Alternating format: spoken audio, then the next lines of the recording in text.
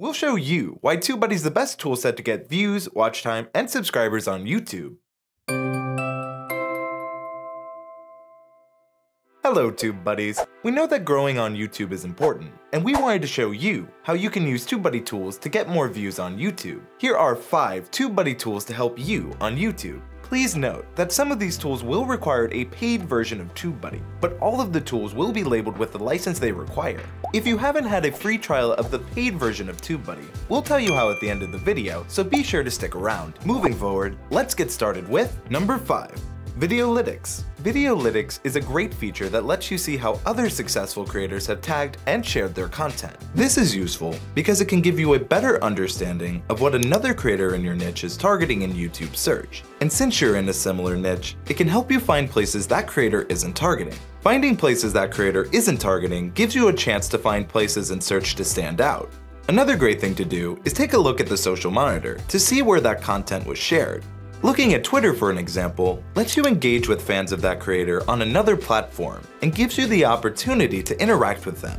These are fans that have chosen to share out the content, so they're more engaged than just your standard YouTube commenter. This helps you broaden your community and lets you know what content their most dedicated fans are sharing from that content creator. Number 4. Keyword Explorer the TubeBuddy Keyword Explorer is an expansive tool that helps you research what people are looking for around a topic. Keyword Explorer is available to free users, but will have limited results compared to paid users. If we were to look up how to get more views on YouTube, we can see how many people are looking for this on YouTube per month, how many videos there are for this topic, a general unweighted score, and for paid TubeBuddy members, a personalized weighted score using your channel's data. The score is like a stoplight. Red means stop, and consider another keyword to use. Yellow is to be cautious about that keyword, and green means you're good to go. However, make sure to look at the other factors within the Keyword Explorer. We know that the Keyword Explorer can be confusing, so we've created a playlist to explain how to use the Keyword Explorer in depth and what each section means. Click the card on screen now, but we recommend staying to the end of the video to learn more ways to get more views on YouTube. Number 3. Playlist Organizer. Playlists are important on YouTube, and they help make your videos easy to watch one after the other. With this TubeBuddy tool, we'll help your playlist be even better. By heading to the playlist page, we let you sort playlists for free by standard metrics, such as what's most popular or newest. We also offer miscellaneous playlist options for free, such as alphabetical, or if your videos are in a group playlist, you can sort your videos first, or in a random order. For paid users, we let you sort playlists by which videos get you the most subscribers, which videos have the highest average view duration, which videos get you the most likes, comments, shares, or watch percentage. This is useful because if you want to earn more subscribers, having a playlist that converts people to subscribe to you is a great way to do that.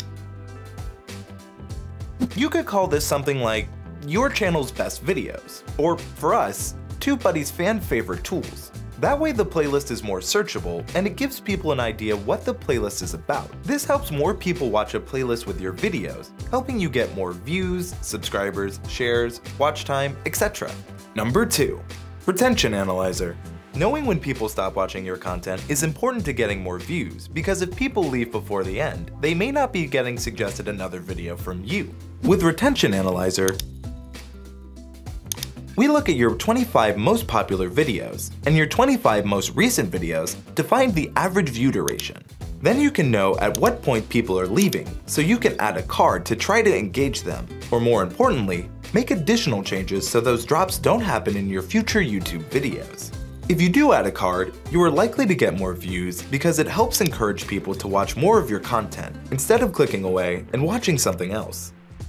Number 1. Bulk add cards and end screens. You can use your existing videos to push to your most recent video. To do this, head to the My Videos page and bulk edit either cards or end screens. We will show you how to bulk edit cards, but it works the same for end screens. Using the time information we got from Retention Analyzer, place a card on a video at that time. Then, follow the on-screen instructions and you can add that element to all of the videos that have a common drop-off point. This is a great way to get them watching more of your content.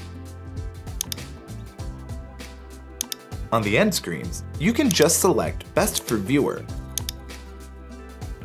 Which is YouTube automatically suggesting something that is good for that specific viewer.